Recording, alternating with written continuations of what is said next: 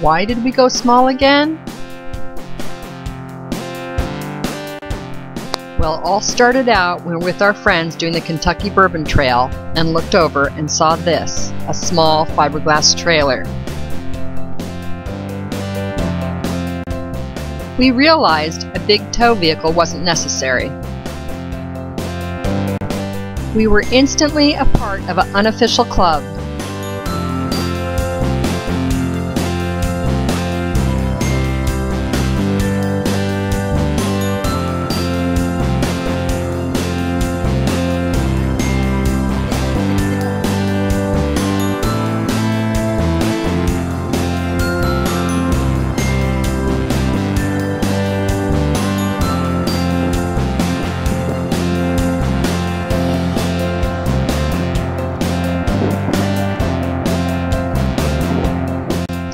We certainly didn't look like everyone else.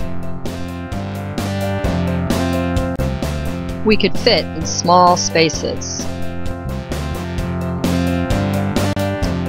Really small spaces. Smaller footprint means smaller use of resources. And being places where others aren't. I did mention we don't look like everyone else, right? And we can make fun of ourselves.